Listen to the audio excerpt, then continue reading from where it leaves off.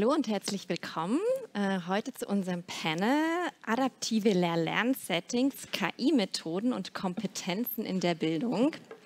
Ich freue mich heute hier zu sein. Mein Name ist Julia Kleberger und ich werde das Panel heute moderieren. Und vielleicht kurz zu meinem Hintergrund. Ich bin Sozialunternehmerin. Ich habe das Unternehmen Junge TüftlerInnen gegründet. Da befähigen wir Kinder, Jugendliche, Dinge wie KI tatsächlich selbst zu trainieren und Roboter eben halt auch selbst anzuwenden. Und ich bin in diesem Rahmen unter anderem auch Mitglied im, äh, im, beim KI-Campus in der Expertengruppe Schule. Der KI-Campus ist die Lernplattform der Bundesregierung, wo es darum geht, äh, KI-Kompetenz in der Gesellschaft zu stärken. Und ähm, in der Expertengruppe Schule setzen wir uns explizit mit der Thematik auseinander, wie, wie funktioniert das eigentlich im formalen Bildungssystem.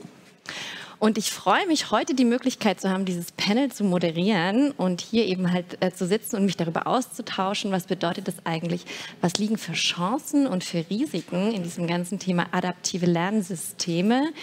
Und ob und wie können wir sie eigentlich auch einführen in die Schule und auch Ihr, Sie habt die Möglichkeit, euch mit äh, an dem Panel zu beteiligen.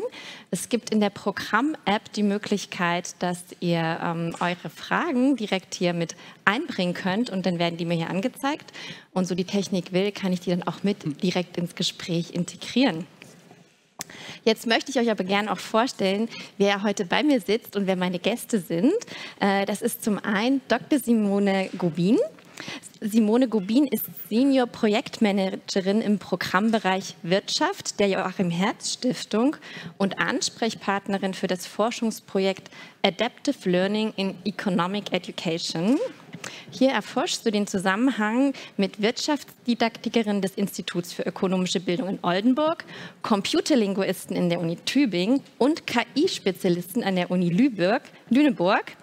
Äh, und ihr forscht gemeinsam über die Potenziale und Grenzen eines adaptiven, KI-basierten Lernplattforms in der ökonomischen Bildung. genau, außerdem äh, äh, managst du die operativen und fördernden Projekte äh, in der Joachim Herz Stiftung und vorher warst du am Leibniz-Institut. Schön, dass du da bist. Danke. Außerdem bei mir ist äh, Ralf Müller-Eiselt. Äh, Ralf Müller leitet das Programm Digitalisierung und Gemeinwohl in der Bertelsmann Stiftung. Und äh, dort beschäftigst du dich mit den gesellschaftlichen Chancen und Risiken von Algorithmen und künstlicher Intelligenz. Und dir ist es vor allem ein Anliegen, dass unser Blick nicht nur auf das technisch Machbare gerichtet wird, sondern auch auf das gesellschaftlich Sinnhafte. Außerdem bist du Autor der Bücher Digitale Bildungsrevolution sowie Wir und die intelligenten Maschinen. Und bevor du bei der Bertelsmann Stiftung äh, bevor du zur Bertelsmann Stiftung gekommen bist, warst du unter anderem auch für das Präsidium der Leuphana Universität und tätig und am Niedersächsischen Ministerium für Wissenschaft und Kultur. Schön, dass du da bist. Okay. Genau, und bei mir ist ähm, Professor Dr. Sebastian Becker-Genschow. Sebastian Becker-Genschow ist Professor für Physikdidaktik und digitale Bildung an der Universität Köln und er kommt aus der Praxis. Er war selbst Lehrer für Physik und Mathematik, äh, bevor er an der TU Kaiserslautern in der Didaktik der Physik promoviert hat und dort auch als Postdoc tätig war. Und derzeit ähm, hat er die Juniorprofessur für digitale Bildung an der Uni Köln inne. Und dort untersuchst du insbesondere die Lernwirksamkeit von digital gestützten Lehr-Lernprozessen in der Naturwissenschaft sowie mittels Eye-Tracking. Schön, dass du da bist. Vielen Dank für die Einladung. Genau, und bei uns ist Nina Briskorn. Nina ist Geschäftsführerin der neu gegründeten Tech Education at School G GmbH in Hamburg. Wenn ihr die noch nicht gehört habt, die ist auch relativ neu, gibt es erst seit 2021. Aber du bist schon sehr lange auch generell im Geschäft. Du bist schon seit über 16 Jahren für die Otto Group als Juristin tätig. Und hier berätst du die Unternehmensgruppe in vielfältigen Merger and Acquisition Projekten. Also du hast vor allem auch einen Einblick aus der Wirtschaft, die du mitbringst. Und äh, die, äh, die Tech Education School ist eine Ausgründung der Otto Group. Und ähm, hier produziert ihr zusammen mit dem Landesinstitut für Lehrerbildung in Hamburg kostenlose Lernvideos zu Technologiethemen für Lehrkräfte in ganz Deutschland. Schön, dass du da bist. So, damit geht es auch schon los. Ähm, und äh, das Erste, was man sich natürlich eventuell auch fragt bei einem Panel zum Thema adaptive Lehr-Lernsettings, was ist das eigentlich konkret? Was können wir uns überhaupt unter einem adaptiven Lehr-Lernsetting vorstellen? Simone, diese Frage würde ich gerne mal direkt an dich mhm. geben. Sehr gerne, ja. Ich würde da gerne einmal die komplette Version einmal eröffnen. Und zwar ähm, haben wir ja das Problem, dass wir eine sehr heterogene Schülerschaft haben. Das heißt, die unterscheiden sich in vielen unterschiedlichen Dingen, die kognitive Leistungsfähigkeit natürlich, aber auch die Sprachfähigkeit, die Motivation, den Hintergrund des Elternhauses. Wir haben immer noch ein starkes Problem von äh, nicht vorhandener Bildungsgerechtigkeit. Und das mhm. ist eigentlich so die Problematik, die adaptive Systeme versuchen zu adressieren. Und zwar mit dem Ziel, jede dass jede Schülerin und jeder Schüler auf dem individuellen lernförderlichen Niveau lernt. Also die Idee ist, ich bekomme genau diese Aufgaben zugewiesen, die für mich den größten Lernzuwachs haben. Und ähm, das findet zum Teil schon statt, meistens auch eher im Bereich des Übens, Einübens von Dingen. Und ähm, was man halt sehen kann, ist, dass es zum einen einen sehr großen Lernzuwachs dadurch gibt, zum anderen aber auch die Motivation der Schülerinnen dadurch groß wird, da sie tatsächlich keine redundanten Inhalte nochmal lernen, sondern neue Sachen einüben, neue Dinge erfahren. Und zwar optimalerweise so, dass sie gefördert werden dabei. Das heißt, ihr testet das schon konkret mit Schülerinnen und Schülern. Wie sieht so ein Setup aus? Wie muss ich mir das vorstellen, wenn ich dann in den Klassenraum komme? Mhm. Also wir testen es noch nicht konkret. Das Forschungsprojekt ist noch relativ in den Kinderschuhen. Das läuft jetzt seit einem guten Jahr. Wir sind also noch in der Entwicklung, weil man sagen muss, man hat natürlich bei solchen Systemen, die man digital anbieten möchte, jede Menge Herausforderungen. Und eine der allergrößten ist natürlich, dass erstmal das entsprechende Material da sein muss.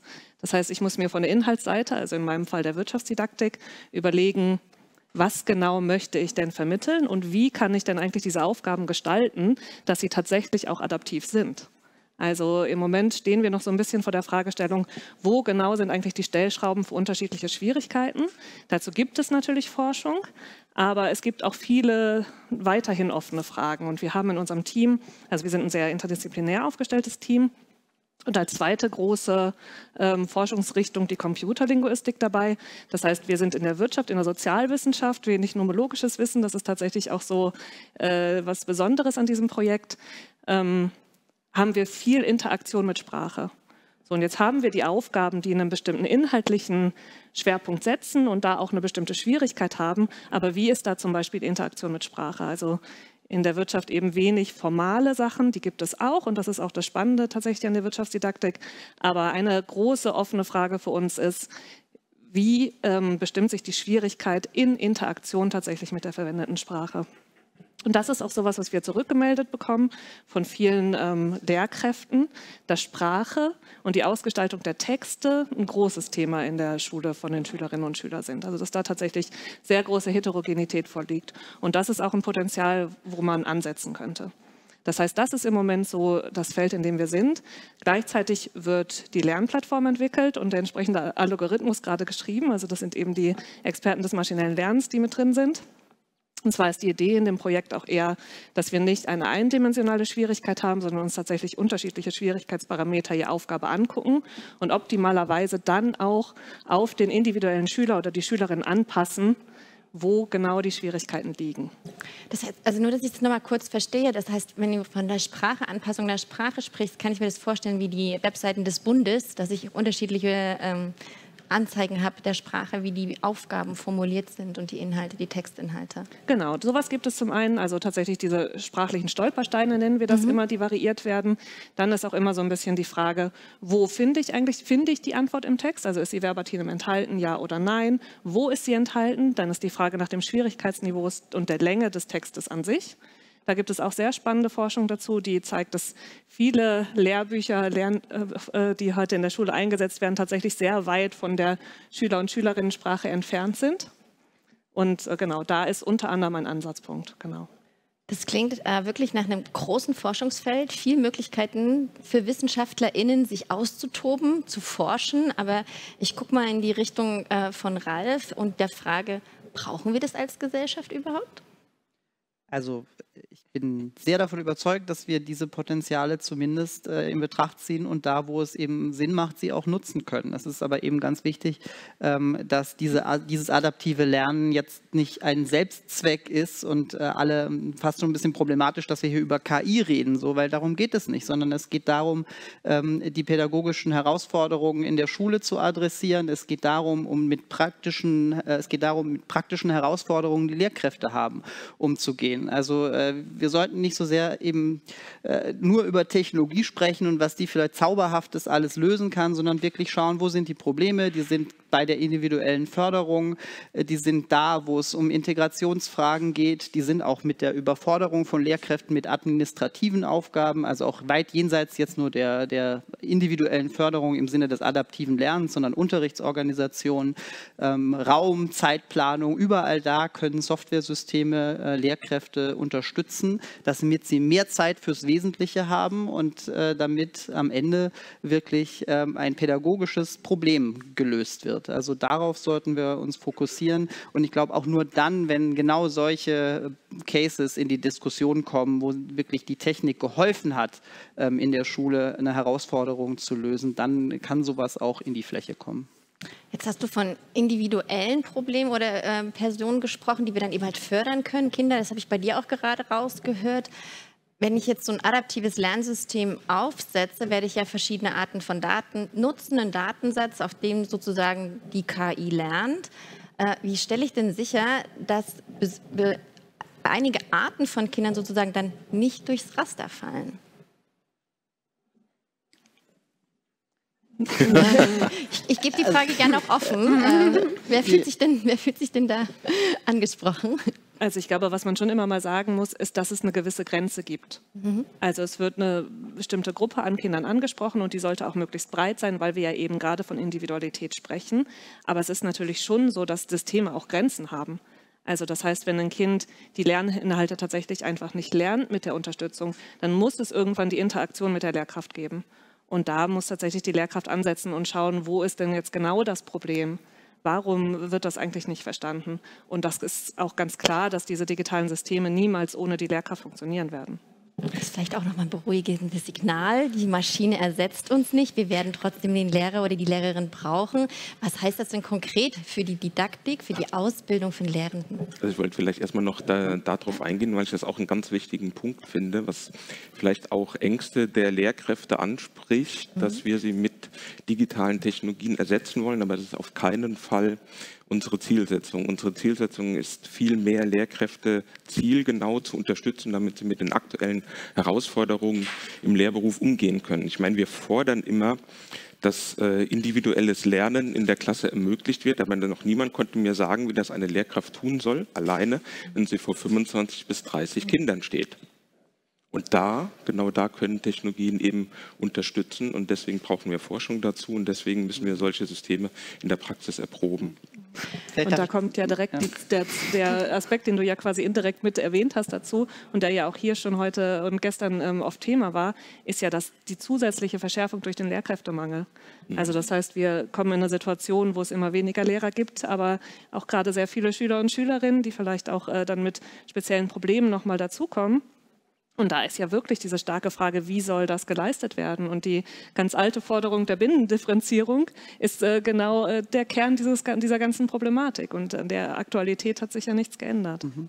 Darf ich noch einen ja. Satz dazu, gerade weil wir über dieses Thema Chancengerechtigkeit sprechen und mir es einfach so besonders wichtig ist, dass es nicht so im Raum stehen bleibt. Es gibt dazu auch Empirie, es gibt Befunde, dass gerade ähm, in äh, Schulen, in dem Fall jetzt aus den USA, die solche Systeme nutzen, 50 ähm, Prozent mehr Lernzuwachs erreicht werden werden können in einem Schuljahr, wenn man sie äh, gut integriert ähm, äh, in, in, dieses, in, in die Schule reinbringt. So, also es ist jetzt schon so, dass es auch gerade für solche äh, Schülerinnen und Schülern oder auch Klassen, Brennpunktschulen, die du jetzt angesprochen hast, gerade da besonders große Potenziale liegen. Ähm, die Herausforderung, die will ich aber nicht verhehlen, ist, dass wenn wir jetzt hier, es ist toll, dass wir jetzt auch über solche Pilotprojekte in Deutschland sprechen. Aber da sind eben diejenigen, die die Hand heben, häufiger eben nicht solche Schulen, wo diese Potenziale besonders gehoben werden könnten, sondern es sind eben da, wo man sich besonders darum kümmert. Und äh, wir haben gestern auch von tollen Gymnasien hier gehört äh, in Berlin, äh, wo man äh, noch bessere Bildung äh, dann ermöglicht. Und das ist, glaube ich, die Herausforderung. Wir müssen das so in die Fläche bringen, dass es wirklich auch da nützt, wo äh, die, die Potenziale doch am größten sind, damit eben die Schere nicht weiter auseinandergeht, sondern sie sich möglichst möglichst schließt. Da gehen wir gleich nochmal drauf ein, aber ich will trotzdem nochmal auf meine Frage zurückkommen. Ne? Wenn wir eben halt sagen, wir können nicht sicherstellen, dass Kinder eventuell durchs Raster fallen. Wir brauchen sozusagen immer noch den Mensch und seine Kompetenzen, dass er das sozusagen auch nochmal mit seinem gesunden Blick da drauf schaut. Was heißt es denn dann für die Lehrenden in der Ausbildung? Ja, aus meiner Sicht äh, bedeutet das, dass diese Kompetenzen auch möglichst früh im Lehramtsstudium vermittelt werden müssen. Äh, das passiert an den deutschen Universitäten aus meiner Sicht noch nicht oder noch nicht in genügendem Maße. Äh, wir sind jetzt ähm, an der Universität zu Köln in einer ersten kleinen Testphase und versuchen genau diese Kompetenzen bei den Lehramtsstudierenden auch äh, zu entwickeln Welche Kompetenzen und zu fördern. sind das denn? Ja, das, ich möchte das aufgreifen, mh, was, was du gesagt hast solche Systeme müssen gut eingebunden werden, didaktisch klug eingesetzt werden. Und wie man das tut, das müssen wir den Studierenden vermitteln, damit sie später im Referendariat oder in ihrem Berufsleben auch können. Dazu sind äh, wir verantwortlich. Wir können das nicht von den Lehrkräften erwarten. Vielleicht noch ein, ein Punkt dazu. Ähm, wir sind auch gut darin, immer mehr in die Lehrkräfteausbildung hineinzupacken. Wir haben immer mehr Herausforderungen, denen sich Lehrkräfte stellen müssen. Heterogenität, sprachsensibler Unterricht, Inklusion, Digitalisierung. Man hat manchmal den Eindruck, äh, dass das ein normaler Mensch gar nicht mehr schaffen kann. Das heißt, hier müssen sich die lehrerbildenden Institutionen und die Entscheidungsträger aus meiner Sicht Kompetenzen priorisieren, Kompetenzen, die zukunftsgewandt sind und entsprechend die Lehrkräftebildung will nicht sagen reformieren, aber vielleicht neu strukturieren, damit diese, diese zukunftsgewandten Kompetenzen auch im Lehramtsstudium, in der Lehramtsausbildung äh, geschult werden. Jetzt bilden wir die Lehr Lehrenden aus und wenn alles gut geht, dann sind sie 30 bis 40 Jahre im Beruf. Aber was passiert denn mit denen, die schon im Beruf sind, Nina? Ich würde dich gerne auch ein bisschen mit ins Gespräch holen. Erzähl uns mal, wo stehen wir denn gerade? Ja, also ich glaube, genau da setzen wir an, ne, mit der Idee, so ja, es wird die Erwartung an alle Lehrkräfte gestellt, so jetzt müsst ihr euch aber auch auskennen und jetzt müsst ihr euch damit beschäftigen, mit den digitalen Themen und ihr müsst auch irgendwie Formate schaffen und äh, aber woher sollen die das können und wo, woher sollen sie die Zeit nehmen? Das war die Frage, mit der wir uns auseinandergesetzt haben und warum wir auch zusammen mit dem äh, Landesinstitut in Hamburg für Lehrkräftebildung eben entschieden haben, wir wollen zusammen äh, ansetzen und eben Videoformate tatsächlich ähm, als das Format nutzen für die Lehrkräftefortbildung, weil wir festgestellt haben, es muss äh, qualitativ hochwertig sein, es muss schnell gehen, es muss eine Art Mikrofortbildung sein, es sollte kostenlos sein. Ich muss ein hohes Vertrauen haben, dass das, was ich mir da anschaue zu einem bestimmten Thema, ähm, auch das ist, was ich wirklich brauche und was auch richtig und wahr ist. Also dass ich nicht noch irgendeine Quellenüberprüfung machen muss. Ähm, und das ist auch der Grund, warum wir überhaupt mit dem Landesinstitut so eng zusammenarbeiten, weil das nämlich eine Qualitätskontrolle sicherstellt.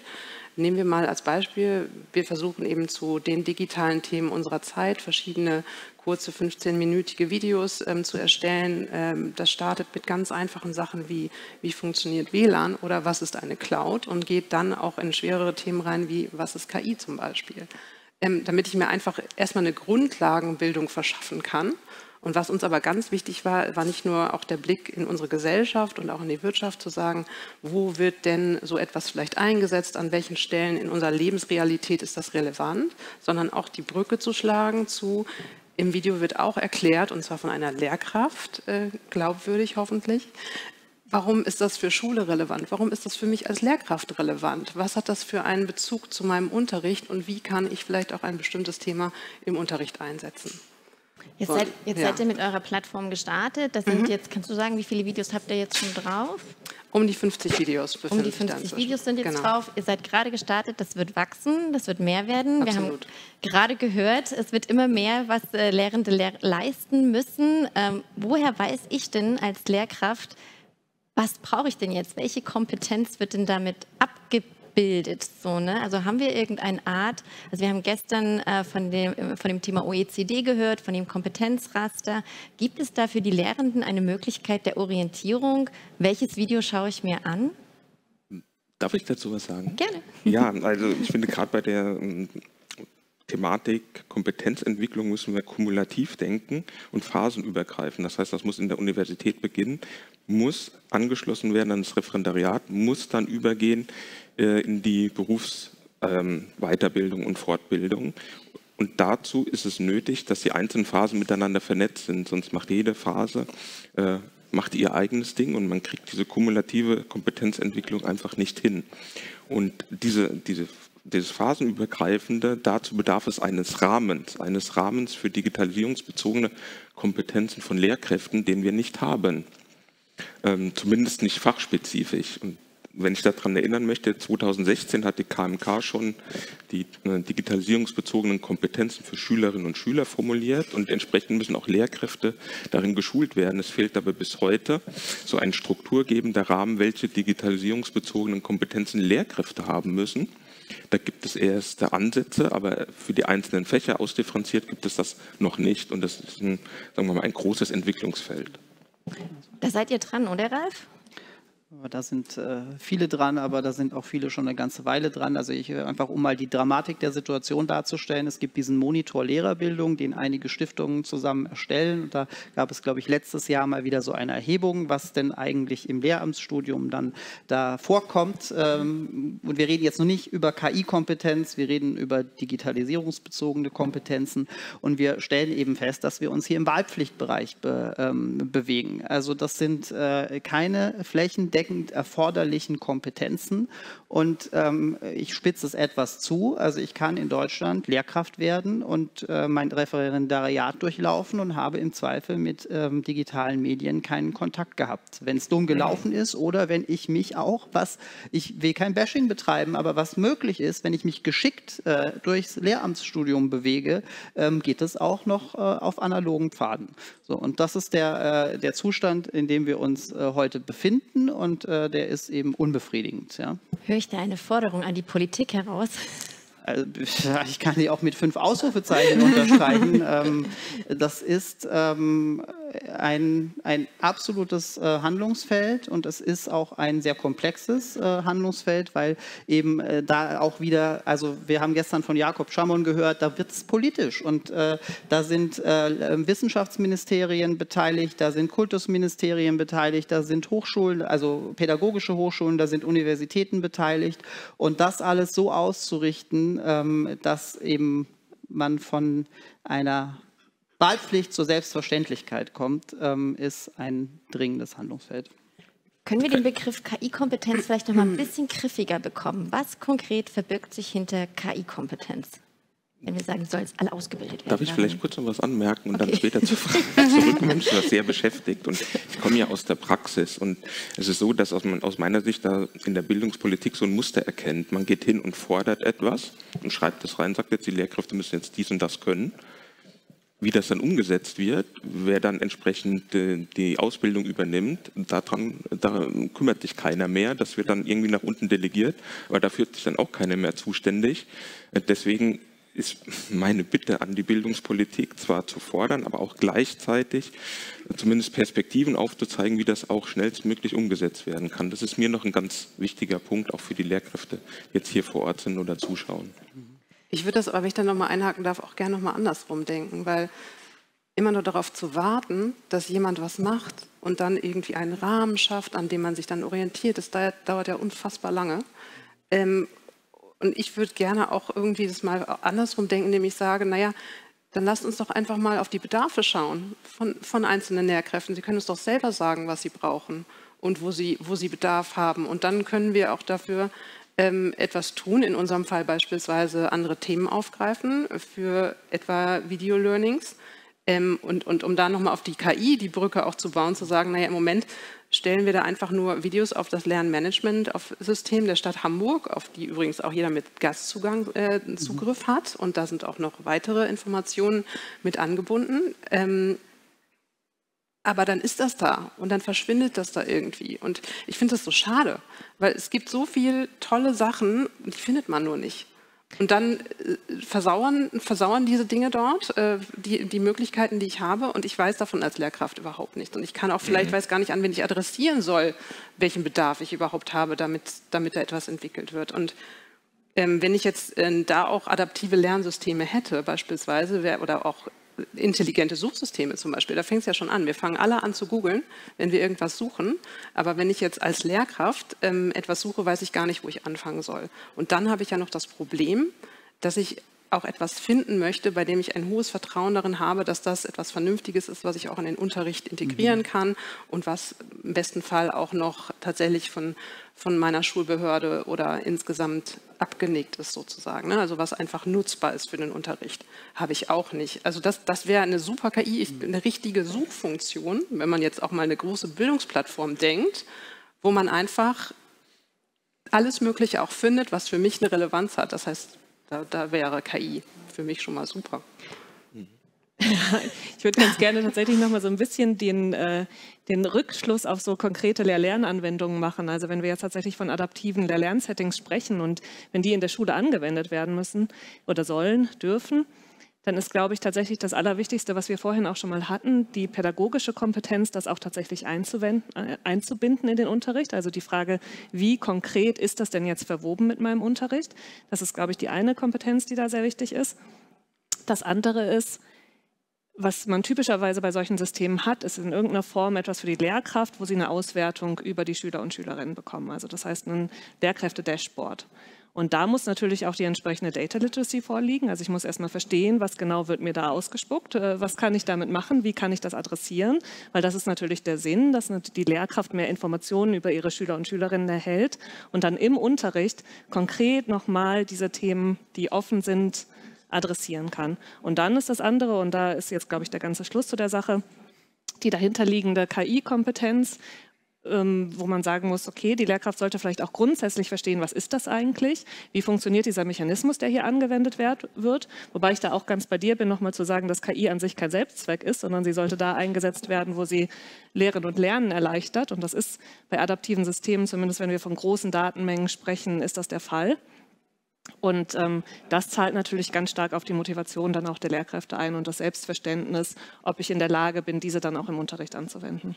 Aber kriegt diese Ansicht nur die Lehrerin oder der Lehrer? Also wir reden ja ganz viel auch über Lernenden zentriert. Wir wollen die Lernenden eigentlich selbst in die Verantwortung ihres eigenen Lernprozesses bringen. Gibt es auch diese Möglichkeit, dass die Lernenden sehen, wo sie stehen? Mhm. Selbstverständlich. Also ich muss sagen, wie gesagt, unser System ist nicht entwickelt, aber das ist immer was, was man mitdenkt. Natürlich heißt, muss der Lernende selber auch Feedback bekommen und sehen, wo bin ich, wo habe ich vielleicht noch ein paar Defizite, wo sollte ich noch mal ein bisschen ähm, nacharbeiten, selbstverständlich. Das heißt, wir brauchen die Kompetenz, diese Daten auszuwerten, ja nicht nur auf Lehrendenseite, sondern genauso auf Lernendenseite. Gibt es da Ansätze? Gibt es Plattformen, Lern, Lernplattformen, nicht nur für, also denkt ihr daran, das vielleicht auch für, für Lernende zu öffnen und nicht nur für LehrerInnen? Also jetzt mal grundsätzlich sind, glaube ich, unsere Videos so einfach gestrickt, dass sie zumindest ab einer bestimmten Altersklasse sich jeder anschauen kann. Und wir haben festgestellt, das wird auch schon gemacht. Dann wird dann kommentiert, unsere Lehrerin hat uns gesagt, wir sollen uns das anschauen. Das fand ich sehr schön. Mhm. Ähm, also insofern natürlich. Ne? Ähm, aber wir würden auch schon davon träumen, dass es auch eine tatsächlich echte Plattform ist, auf der man sich bewegen kann und wo man selber, egal ob ich jetzt Lehrkraft bin, wenn wir das jetzt mal größer denken, den Nutzerkreis größer denken, dann kann ich natürlich auch SchülerInnen sein oder Eltern. Eltern sind, wir haben auch schon Elternabendvideos gestaltet. Ähm, aber da wäre es natürlich sehr schön, wenn ich als Nutzer auch die Möglichkeit habe, mich auf einer Plattform zu bewegen und vielleicht auch irgendwie Indikationen zu bekommen, so welche Inhalte sind für mich eigentlich relevant, dass die quasi besser ausgesteuert werden, dass ich schon weiß, welche Inhalte habe ich eigentlich schon äh, durchlaufen, wo, ist, wo bin ich eigentlich auf meiner Lernreise, alle diese Dinge. Ähm, aber das ist im Moment noch eine Zukunftsvision. Hm. Vielleicht noch ergänzend dazu, wenn wir es KI-Kompetenz nennen wollen, bedeutet für mich nicht nur über das System, maschinelles Lernen, auf die einzelnen Tools Bescheid zu wissen, sondern auch, wie KI heutzutage in den Fachwissenschaften eingesetzt wird. Also bin für die Naturwissenschaften zuständig, Biologie, Chemie und Physik. Auch dort wird der KI heutzutage in der Forschung, in der Entwicklung eingesetzt. Und über diesen Ansatz ähm, kann man dann wieder KI in den eigenen Fachunterricht integrieren und damit auch wieder die Schülerinnen und Schüler mit KI in Verbindung bringen, für KI vielleicht sogar begeistert, aber auch entsprechende Kompetenzen bei den Schülerinnen und Schülern fördern. Da würde ich gerne noch mal ansetzen, gerade so dieses ganze Thema, wenn ich mir jetzt adaptives Lernen im Physikunterricht anschauen würde und mir überlege, Physikunterricht hat für mich ganz viel mit Experimenten im Raum zu tun. Wie funktioniert das denn über ein adaptives computergesteuertes System? Ja, da sprichst du einen guten Punkt an. Also wenn ich dann berichte, dass wir ein, ein, äh, das sagen wir, eine digitale Lernumgebung, die auch adaptiv ist, entwickeln, dann ist es so die Vorstellung gleich, ja, die Schülerinnen und Schüler sitzen dann alleine vor dem Rechner in einem dunklen Raum und arbeiten alleine vor sich hin. Aber das ist natürlich nicht meine und nicht unsere Vorstellung einer, einer Didaktik, einer Pädagogik, sondern es ist so, dass wir innerhalb dieser digitalen Lernumgebung auch Gruppenarbeiten, auch Experimente, auch Präsentationen mit einbinden. Diese digitale Lernumgebung gibt nur den Rahmen, vermittelt adaptiv Informationen, dann ähm, arbeiten die Schülerinnen und Schüler aber trotzdem kooperativ und kollaborativ zusammen und experimentieren auch. Und dann führt das die digitale Lernumgebung wieder zusammen, indem die Ergebnisse präsentiert werden, hochgeladen werden. Also auch eine Einbindung von äh, kooperativen und kollaborativen Lernformen. Also ist mir persönlich ganz wichtig. Ich, ähm, ich habe gesehen, ähm, Ihr habt auch geforscht an diesem ganzen Thema Area 9 oder ihr setzt es ein, ein adaptives Lernsystem. Vielleicht kannst du gleich noch mal einen Satz dazu sagen. Mhm. Und auf der Website dazu steht, es erhöht die Wahrscheinlichkeit, dass die Lernenden selbstständige, reflektierende Lernende werden. Wie funktioniert das? Okay, das steht natürlich auf deren Homepage, das ist klar. Die müssen natürlich auch ihr System vermarkten. Es ist so, dass ähm, wir eine Kooperation mit der Firma Area 9 haben. Und ähm, mein Forschungsansatz ist nicht der, eine neue Lernumgebung ähm, unter ein System erstmal zu entwickeln. Das dauert Jahre und verschlingt Ressourcen, sondern bestehende Systeme zu nutzen, die kommerziell erhältlich sind. Ähm, deren System funktioniert oder wurde über Jahrzehnte schon entwickelt und ist mittlerweile aus meiner Sicht auch sehr gut trainiert. Was die allerdings nicht haben, sie nennen es didaktischen Content, also didaktische Themen müssen entsprechend äh, aufbereitet werden. Und das können wir aus der Fachdidaktik eben leisten. Und wenn man dann zusammenarbeitet, dann kann man eine digitale adaptive Lernumgebung zu bestimmten Themen eben kreieren. Und bei meinem Projekt ist es jetzt Bionik. Da werden ähm, physikalische und biologische Themen miteinander verknüpft. Das ist genauer gesagt die Wärmedämmung des Eisbären ist, ich denke, auch sehr motivierend für die Schülerinnen und Schüler. Das Ganze wird äh, aber adaptiv gestaltet. Und das geht aus meiner Sicht, wenn man das schnell auch in die Schulen bringen möchte, nur mit bestehenden Systemen. Denn wenn man das selbst entwickelt, besteht aus meiner Sicht die Gefahr, das dauert Jahre, bis das entwickelt wird. Äh, und oftmals verbleiben solche Systeme dann an den Universitäten, werden nicht weiter gepflegt und werden vielleicht in Doktorarbeiten verwertet, aber schaffen es nie wirklich in die Breite, in die, in die Schule. Und das mit einem kommerziellen System, das schon sehr gut elaboriert und erprobt wurde, aus meiner Sicht eben anders. Da würde ich gerne noch mal auf den Punkt jetzt eingehen, Ralf, den du vorhin genannt hattest. Ne? Also wir haben jetzt gerade gehört, das wird an den Unis erprobt. Die Unis haben teilweise angeschlossene Schulen, mit denen sie zusammenarbeiten. Das findet dann eventuell noch in Gymnasien Einzug. Aber wie schaffen wir es denn tatsächlich wirklich auch in die Breite zu kommen, in die Gesellschaft und auch an verschiedenste Schulformen? Was muss dafür passieren in der Gesellschaft? Also ist eine, das ist ja die große Frage, die diese ganze Konferenz hier ausmacht. Ja? Wie kommen wir von der, von der Bubble ähm, in die Breite? Ich äh, will irgendwie erstmal auch was, was Positives sagen. Ähm, ich finde, ich nehme jetzt mehrfach schon an dieser Konferenz äh, teil und was ich jetzt sehe, ist hier ist eben jetzt eine viel gemischtere, ähm, ein gemischteres Publikum. Also als wir hier vor fünf, sechs Jahren saßen, waren es wirklich sozusagen nur die äh, absoluten Vorreiter, die sich hier getroffen haben. Und in Inzwischen sind hier Akteurinnen aus verschiedensten Institutionen da. Wir haben äh, viele Vertreter von Landesinstituten, aus den Ministerien da. Und ähm, die sind hier auch da, weil sie dafür zuständig sind, so, weil das inzwischen auch in den Organigrammen vorkommt. Und das ist erstmal ganz toll.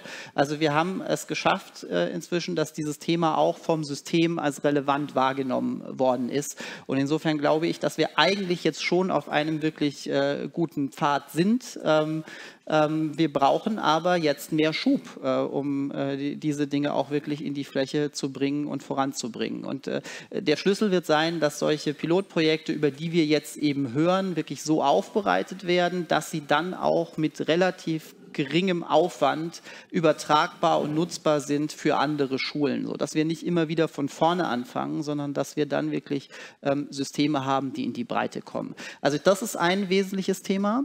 Und dann äh, auf einer etwas einfacheren Ebene, es gibt auch schon viele interessante äh, Anwendungen, die jetzt äh, hier nicht vertreten sind, aber wir haben deutsche Unternehmen, äh, die ich nenne das jetzt einfach mal beim Namen, weil ich schon seit Jahren mich damit befasse, ne? Unternehmen wie Bettermarks, was irgendwie vor zehn Jahren landesweit in Uruguay äh, unterwegs war und in Deutschland 200 Schulen ähm, ähm, bedient hat. Ähm, es ist wirklich nur ein Beispiel. Und jetzt inzwischen sind wir auch da dabei, dass solche Unternehmen jetzt Landeslizenzen haben. So, aber das ist, äh, um noch auf die Frage zu antworten, was muss passieren, damit es in die Breite kommt. Es ist auch eine Frage der Beschaffung. Also äh, solange äh, Schulbücher noch der Standard sind äh, und die eben ausgegeben und ausgeteilt werden, aber es keine richtige Funktionalität und einfache Möglichkeit gibt, auch Lernsoftware einzusetzen, ähm, die auch der Markt, genauso wie Schulbücher ja auch von Unternehmen, von Verlagen hergestellt werden. Also solange wir das noch nicht geschafft haben, wird da auch noch eine Hürde sein. Und ich glaube, das ist auch ein wesentlicher Punkt, eben die Beschaffung von gut funktionierenden ähm, und erprobten ähm, Lernsoftware-Systemen ähm, zu ermöglichen. Darf ich da direkt ja. noch mal was zu sagen? Also ich ähm, sehe das ganz genauso, dass es Sinn macht, die bestehenden und gut funktionierenden ähm, Systeme, die es gibt, in die Breite zu äh, bringen. Und davon gibt es im Grunde genau die zwei, die ihr schon genannt habt, meines Wissens nach, nämlich Area 9 und Betamax, die halt ähm, Betamax vor allem ja im Bereich Mathematik im Nachmittagsbereich unterwegs sind. Es gibt allerdings natürlich auch so ein paar Dinge, die, die nicht abdecken. Und deswegen würde ich jetzt schon dafür plädieren, dass man weiterhin auch Grundlagenforschung da machen kann oder angewandte Grundlagenforschung, die dann hoffentlich auch in die ähm, Entwicklung irgendwann geht. Und zwar ist ähm, das eine die Frage, worüber optimiere ich eigentlich? Und das ist äh, meines Wissens nach bis jetzt eigentlich ein eindimensionaler Schwierigkeitsfaktor. Und das ist sowas, was wir bei uns im Projekt auch angehen, dass wir ein bisschen mehr gucken wollen, Worin unterscheiden sich eigentlich die, schwierig, äh, die Aufgaben je nach Schwierigkeit? Und gibt es nicht eigentlich auch einen guten Weg, wie ich tatsächlich individuell diese unterschiedlichen Faktoren adressieren kann? Das ist die eine Sache. Das andere ist, was es nicht gibt, meines Wissens nach, sind Systeme, die ähm, sich eher ein bisschen um diese sogenannten ill-defined Domains kümmern, also wie zum Beispiel die Wirtschaftswissenschaften. Also was man hat, sind ähm, Disziplinen, die sehr viel nomologisches Wissen haben, also eben wie die Mathematik, wie die Naturwissenschaften. Das ist bei den Wirtschaftswissenschaften definitiv anders. Man hat da einen sehr großen Bereich, in dem diskutiert werden muss, in dem es kein klares Ja, richtig und falsch gibt. Und das ist zum Beispiel auch ein sehr äh, spannender Bereich und das ist ja nicht das einzige Fach, in dem das so ist. Die Wirtschaftswissenschaften sind da noch so ein bisschen ein Zwitterwesen, weil man doch recht viele Modelle und formale Repräsentationen hat, äh, wo man eben genau auf dieses Wissen zurückgreifen kann. Und ähm, Genau, von daher würde ich auch definitiv sagen, das, was, ähm, was es gibt, nutzen und weiterentwickeln, aber eben auch weitere mhm. Forschung, um das Wissen zu vertiefen. Und wie wird, ganz kurz, ich würde gerne verstehen, wie wird dann okay. euer Wissen, was ihr jetzt erforscht, wie kommt das in die Entwicklung oder wie kommt das an Unternehmen? Mhm. Naja, also da sind wir jetzt noch ein bisschen in einem frühen Stadion, ne? das muss man sagen. Also das ist schon noch ein Pilotprojekt, was jetzt die ersten drei Jahre läuft. Das heißt, die allergrößte Hürde, die man ganz am Anfang hat, ist ja die Entwicklung der Inhalte. Die müssen halt erstmal da sein und das muss man halt schon sagen, das ist ein sehr großer Arbeitsbatzen, der da auf einen zukommt. Und dann natürlich auch optimalerweise, wenn das über unterschiedliche Bundesländer und über unterschiedliche äh, Stufen in der Schule gehen soll, wird das alles Ganze nochmal deutlich schwieriger. Das heißt, was halt definitiv stimmt, ist, dass es halt irgendwie eine zeitliche ähm, Herausforderung ist, dann das äh, konkret auch in die Breite zu bringen. Ähm, aber könnte man vielleicht ne, bei Inhaltsgenerierung äh, auch eventuell mit der Wirtschaft zusammenarbeiten? Also wir haben ja jetzt gehört, ne, Nina, ihr erstellt mhm. Inhalte. Mhm. Könnte das ein Modell sein? Also ich, äh, für mich ist es ein wichtiger Punkt. Grundlagenforschung, ja, ist wichtig. Nur für mich ist, sagen wir, diese Waage zwischen Grundlagenforschung auf der einen und Anwendungsforschung auf der anderen Seite zu stark in Richtung Grundlagenforschung. Es wird aus meiner Sicht viel Ressourcen, Investitionen in verschiedenste Systeme gesteckt, in verschiedensten Institutionen erwachsen, von denen es wahrscheinlich kein System in die Schule schaffen wird. Und dann ist diese Waage eben zu sehr in Richtung der Grundlagenforschung ausgelenkt. Wir bräuchten aus meiner Sicht mehr Forschung dazu, wie man bestehende Systeme in die Breite bringt, weil das mhm. unterstützt die Lehrkräfte. Das können die Lehrkräfte in den nächsten Jahren dann einsetzen. Aber man muss es vorher beforschen, Erkenntnisse sammeln, bevor man das einfach in die Schulen hineingibt. Und ist, äh, ist die Kooperation mit Wirtschaft eine Möglichkeit dazu? Aus meiner Sicht ja. Ähm, die wird in Deutschland aus meiner Sicht eher vernachlässigt oder nicht so stark, wie es in anderen Ländern der Fall ist, weil in Deutschland aus meiner Sicht auch ja, viele Ängste äh, bestehen, wenn man jetzt Firmen mit hinzunimmt, die vielleicht auch berechtigt sind, die man auch berücksichtigen muss, aber es darf einen nicht davon abhalten, auch mit der Wirtschaft zu kooperieren. Was müssten wir denn als Gesellschaft dafür tun, dass es einfach besser funktioniert, dass wir Wirtschaft mit Schule verbinden können? Was müssten wir denn für Regularien finden? Auch da die Frage, brauchen wir dafür Regularien tatsächlich? Oder, also, Oder Umgangsweisen? Ist es, genau, ist es doch, ist es nicht eher, irgendwie gehen wir aufeinander zu und schauen, was die Vorbehalte eigentlich sind, so wie wir das auch gemacht haben und gemerkt haben, okay, der Vorbehalt ist einfach, kann ich vertrauen? Mhm. Kann ich eigentlich vertrauen, wenn ich mit der Wirtschaft zusammenarbeite? Da gibt es eben diese Vorbehalte, die ich auch durchaus nachvollziehen kann. Und dann muss ich schauen, okay, wie, wie können wir uns begegnen und wie kann ich Vertrauen schaffen? Und in unserem Fall haben wir das eben gemacht, indem wir gesagt haben, wir machen eine ganz enge Kooperation, in der wir gemeinsam etwas erschaffen und nicht nur der eine für den anderen, sondern ähm, eben beide beteiligt sind und auch sagen, ja, ähm, so, so kann es laufen und so können wir das auch veröffentlichen, weil ähm, wir, wir haben es geprüft, wir sind ähm, der Meinung, dass es äh, das Richtige und das, das dürfen wir auch so an den Markt geben. Und dann kann ich eben auch als Nutzer darauf vertrauen, dass, ich das, äh, dass das gut für mich ist und dass ich das nutzen sollte. Also ich will keine Gegenrede halten, aber doch zumindest einen Gedanken äh, auch zu bedenken geben. Ähm, also äh, ich, ich habe überhaupt nichts dagegen, dass gut funktionierende Inhalte und äh, auch Aspekte, die die Wirtschaft äh, erfahren hat, die sie äh, auch aufbereiten kann, ähm, auch für Schule genutzt werden. Ähm, aber ich will auch hier wieder das Thema der Chancengerechtigkeit doch äh, in den Mittelpunkt rücken. Wir haben auch in Deutschland ein durchaus diverses ähm, ähm, Wirtschaftssystem und ähm, ich höre von ganz vielen auch regionalen Initiativen, wo sich Unternehmensverbände auch regionaler Art da engagieren und Dinge aufbereiten, die dann auch in den Schulen genutzt werden.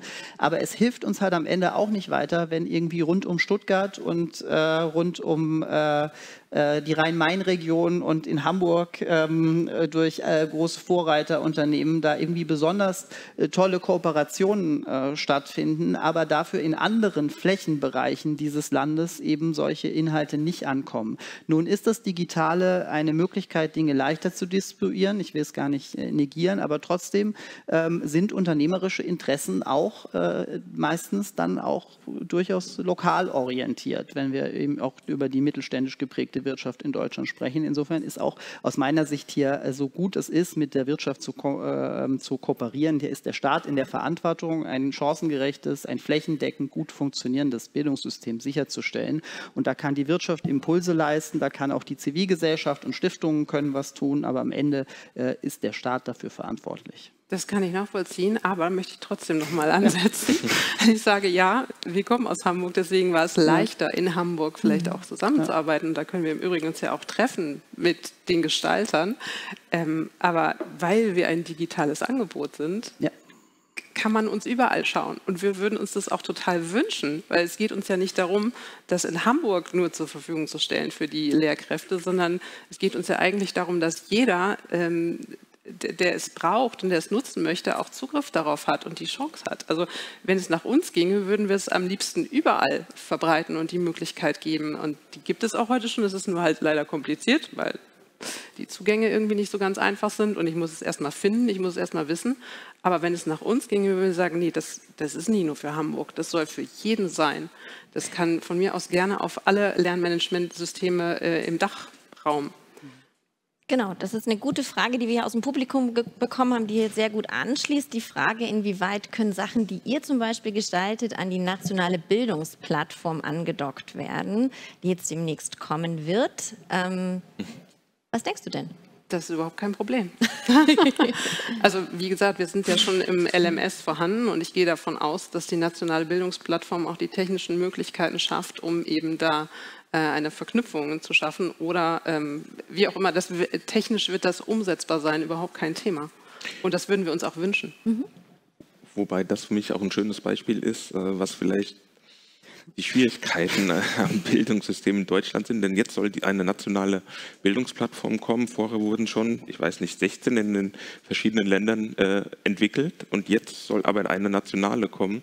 Und vorher sind schon ganz viele Ressourcen, finanziell, aber auch personell, in die einzelnen Bildungsplattformen äh, hineingelaufen, weil immer gedacht wird, das System, was man selbst macht, das wird immer das Beste sein. Und das ist für mich ein schönes Beispiel, wie Ressourcen, sagen wir mal, effizienter genutzt werden könnten in Zukunft.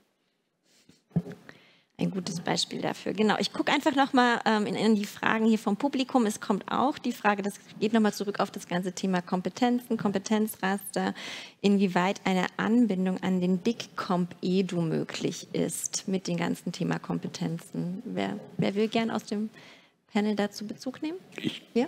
könnte, weil ich das ja auch aufgebracht habe und ich will auch nicht zu viel Negatives sagen, aber auch dieser Dickump Edo ist wieder ein schönes Beispiel.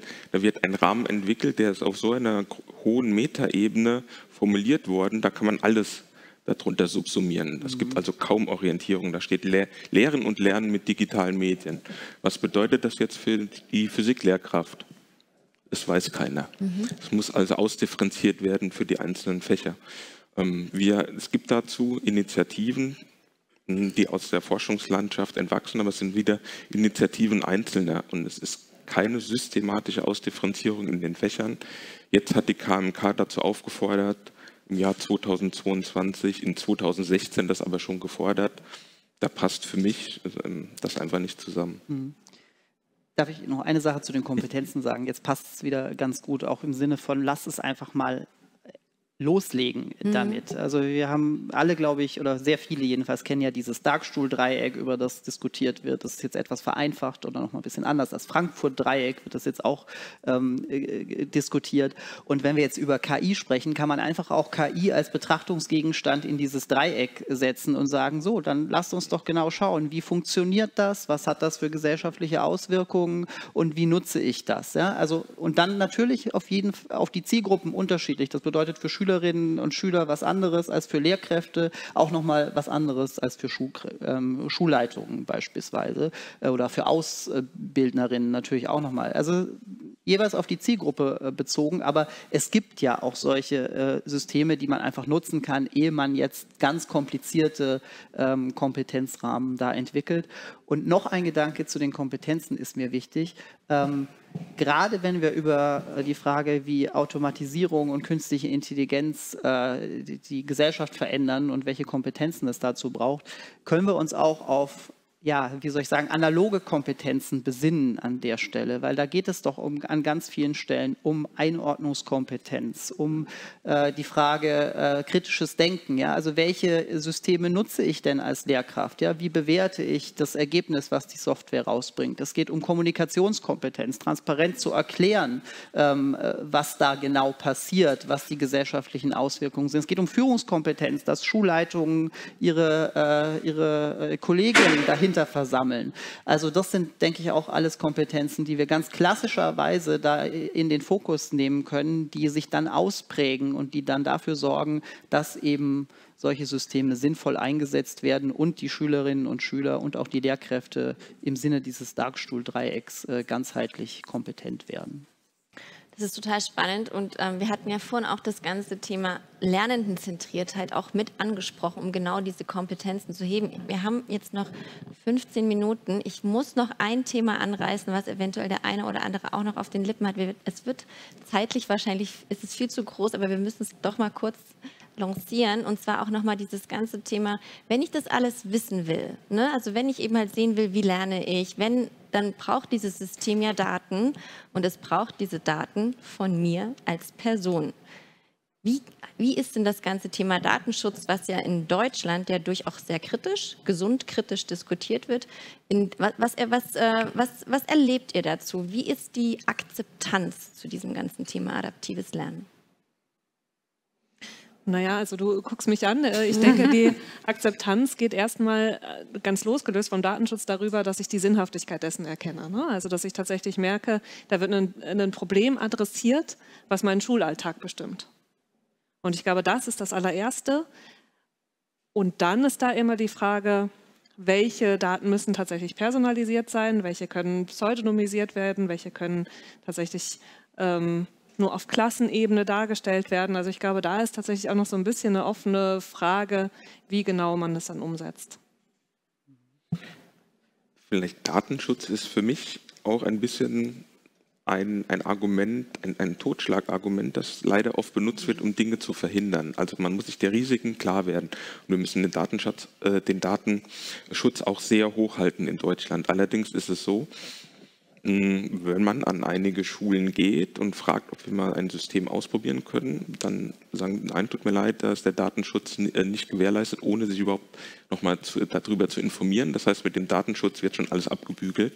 Und das kann aus meiner Sicht nicht sein. Ich glaube, man braucht da mehr Offenheit, aber auch Mut, etwas mal auszuprobieren. Der Datenschutz muss berücksichtigt werden. Man muss sich darüber Gedanken machen.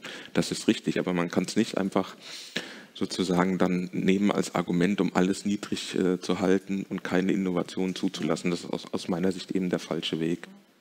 Ich glaube, es gibt zwei Ebenen, die man wirklich echt trennen muss, äh, soweit solche Daten innerhalb einer Schule verwendet werden. Ja, da ist es auch nicht anders als bislang so, dass Lehrkräfte ihre Notizen machen über Schülerinnen und Schüler äh, und das sind vorhandene Daten. Ja, und äh, die sind aber jetzt viel strukturierter und die sind jetzt auch, man kann eine Lernstandserhebung viel einfacher machen. Wenn wir über die Probleme reden, die äh, jetzt bei den letzten Studien rausgekommen sind, ja, wie toll ist es denn, wenn ich für meine ganze Klasse äh, diese Basis Basiskompetenzen auch dann erfassen kann und dann weiß, wo ich wie unterstützen kann. So. Ich glaube, in dem Bereich äh, sollten wir wirklich nicht über Datenschutz reden, sondern sollten natürlich sicherstellen, dass da eine Datensicherheit in dem Sinne da ist, dass diese Daten nicht nach draußen kommen. Das ist nämlich genau die Trennung, die ich meine. Und alles, was dann außerhalb der Schule stattfindet, außerhalb dieser engen Beziehung Lehrkraft-Schülerinnen, da müssen wir über hm, Pseudonymisierung äh, sicherstellen, dass eben da keine persönlichen Daten zehn Jahre später einem nochmal im Bewerbungsgespräch ständig äh, äh, um die Ohren äh, gehauen werden. Da bin ich aber auch zuversichtlich. Es gibt ja Initiativen zum äh, ähm, Identitätsmanagement, auch von, von der Kultusministerkonferenz, dass man es schafft, eben da wirklich diese Pseudonymisierung sicherzustellen. Und vielleicht geben wir die Aufgabe auch tatsächlich in die Hand der Lernenden selbst. Auch das hat ja was mit Medien- und Datenkompetenz zu tun, selbst mit den eigenen Daten umgehen zu können. Ähm, aber wie sieht es denn in der Realität aktuell aus, Nina? Ich habe vorhin mit dir gesprochen und ich habe schon gehört, allein das Login ist ein Thema. Aber wie, wie ist die Realität aktuell? Wenn ja, ihr, da wenn ist eben auch mein Gefühl, dass, dass Datenschutz so das Totschlagargument ist und nach dem Motto, oh Gott, oh Gott, nein, das dürfen wir nicht. Das, äh, da sind ja Daten involviert. Ähm, kann ich auch ein Stück weit verstehen, aber es ist eben auch aus einer großen Unwissenheit und aus einer großen, von großen Vorbehalten geprägt. Ähm, tatsächlich ist es aktuell so, dass ähm, im Lernmanagementsystem ich als Lehrkraft in Hamburg zumindest einen eigenen Zugang haben kann. Aber dann habe ich im Grunde genommen nur Zugang zu der Plattform. Es findet kein Tracking statt. Das heißt, ähm, es wird nicht nachvollzogen, wer vielleicht Beispiel, an unserem Beispiel welche Lernvideos schon durchlaufen hat oder welche sinnvoll wären. Also gar nichts in der Art. Ähm, dabei hätte das einen so großen Mehrwert für mich als Nutzer eigentlich am Ende weil ich ja dann schon wüsste, okay, ich könnte mir auch selber zusammenbauen, was will ich eigentlich, ich packe es vielleicht schon in meine Wunschliste oder mir wird vorgeschlagen, was nach meinem Wissensstand vielleicht sinnvoll für mich wäre. Mir werden noch andere ähnliche Dinge vorgeschlagen. All das wäre ja möglich, findet aber nicht statt, eben weil da diese großen, großen Vorbehalte sind. Ja. Hm, noch eine kleine Ergänzung. Ich glaube, wir müssen die Daten, die an Schulen auch erhoben werden können, auch als Datenschatz vielleicht auch sehen, der den Schulen verloren geht. Die Schulen mhm. wissen gar nicht, wo ihre Schülerinnen und Schüler stehen. Also kein Unternehmen könnte sich das leisten. Und wie will man Schulentwicklung betreiben, wenn man noch nicht mal weiß, wo die Schülerinnen und Schüler stehen? Diese Daten gehen einem verloren, auch der Forschung verloren, weil sie einfach nicht genutzt werden können. Und da ist etwas, da ist auch die, die Politik gefordert, eben auch Datenschutz in der Schule zu regeln, dass auch die Schulen dann Sicherheit haben in Kooperation mit Forschungsinstituten. Ich denke, da ist auch noch einiges zu tun. Dankeschön. Das war jetzt super spannend. Ich glaube, ihr habt schon gemerkt, dass es viel Pro-Kommentare gibt und Argumente, warum das ganze Thema adaptives Lernen Einzug halten sollte in Schule. Angefangen allein von den Potenzialen und Möglichkeiten, die sich uns bergen, bis hin eben halt auch zu diesem ganzen Thema äh, Gerechtigkeit, Chancengleichheit etc. Wir sind leider jetzt schon fast am Ende unseres Panels. Ich würde euch trotzdem gerne noch mal die Gelegenheit geben zu einem Schlusswort. Und wenn ihr jetzt sagt, ihr wollt adaptive Lernsysteme, wir haben gerade davon gesprochen, weg von den Grundlagen. Es muss viel stärker wirklich in die Anwendung kommen. Was müsste aus eurer jeweiligen Sicht jetzt konkret als erstes direkt passieren? Wenn ihr euch was wünschen dürftet, was muss jetzt der nächste Schritt sein, Simone? Naja, ich glaube weiterhin, dass eine der größten Herausforderungen tatsächlich die Gestaltung der Fachinhalte ist. Und ich glaube, da sollte ein Schritt geschehen. Also jetzt rede ich natürlich auch von einem sehr randständigen Fach der Wirtschaftsdidaktik. Ne? Also das ist jetzt, äh, dass ja viel in Verbundfächern ähm, unterrichtet wird und wenig Platz im Schulkanon hat. Aber allgemein ist es, glaube ich, sehr, sehr wichtig, dass geguckt wird, wer erstellt Inhalte und entsprechen die eigentlich dem, was wir vermitteln wollen und den Ansprüchen, die Schule hat. Ich denke, wir brauchen Mut und Offenheit. Mut, Innovationen auch in die Schule zu bringen. Wir brauchen Lehrkräfte, die diesen Technologien offen gegenüberstehen, Schulleitungen, die diesen Technologien offen gegenüberstehen, bildungspolitische Entscheidungsträger, die diesen Technologien offen gegenüberstehen. Und äh, man sollte vielleicht mehr sich die Potenziale vergegenwärtigen und weniger die Gefahren sehen, ohne aber die Gefahren tatsächlich zu vernachlässigen. Deswegen meine Bitte auch an die Lehrkräfte, Offenheit und Mut. Das würde ich mir wünschen. Danke. Nina? Ich würde mir wünschen, dass wir den Schatz, der da vielleicht schon schlummert, auch ein bisschen heben, weil ich glaube, dass ähm, am Beispiel von uns in Hamburg im Lernmanagementsystem gibt es schon äh, Dinge, die relevant sind für die Fortbildung von Lehrkräften und das wird es in jedem anderen äh, Bundesland auch geben. Es, es, es, war, es erfährt nur niemand davon. Ich würde mir so wünschen, dass wir erstmal eine vielleicht auch in der nationalen Bildungsplattform einen Raum dafür schaffen, dass man überhaupt äh, weiß, was gibt es schon alles und äh, wie kann ich das eigentlich auch finden. Also dass da einfach etwas geschaffen wird, wo ich, wo, wo ich leichter Zugang einfach auch habe und äh, wirklich auch lernen kann. Und zwar das, was ich lernen möchte und was für mich Sinn ergibt. Ähm, und dann nochmal der Aufruf vielleicht an der Stelle. Äh, wir sind sehr gerne bereit, übrigens auch mit äh, jedem, der, den es interessiert, mit ähm, jeder Behörde jedes Bundeslandes darüber zu sprechen, wie man auch nochmal eigene Videos zu konzipieren kann. Nicht, dass hier kommen auch manchmal Vorbehalte, oh Gott, das habt ihr ja mit Hamburg gemacht, das wollen wir nicht.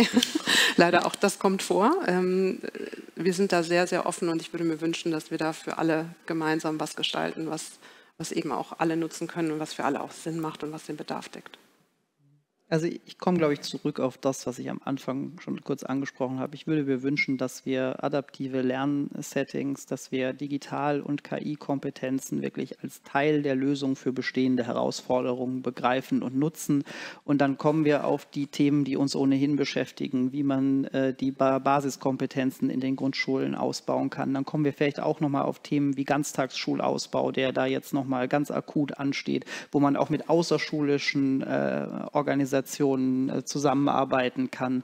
Also wirklich äh, da anzusetzen, wo die Herausforderungen im System bestehen und sich das dann als not yet another problem, aber Teil der Lösung für die bestehenden Herausforderungen zu nutzen, weil so kommen wir, glaube ich, am schnellsten da voran und es ist nicht irgendwie noch was, was man leisten muss, sondern es hilft einem eben ähm, beim bestehenden, bei den bestehenden Aufgaben.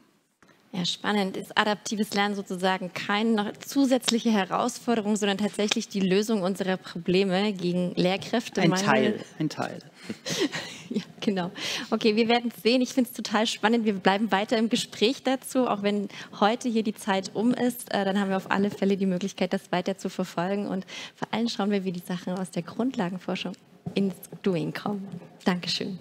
Vielen Dank. Danke.